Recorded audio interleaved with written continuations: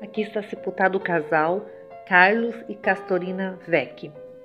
E a foto do meio é de uma das filhas do casal, a Oliva. O Carlos nasceu no ano de 1890 na Alemanha e faleceu em 1927 na cidade de Santo Ângelo com 37 anos. Consta em um registro que eu encontrei que ele faleceu devido a um acidente. E essa linda moça é a Oliva Veckhide, filha do casal. Ela nasceu em 1915 e faleceu em 1964, com 49 anos. Foi casada com Teodoro Hyde e tiveram uma filha.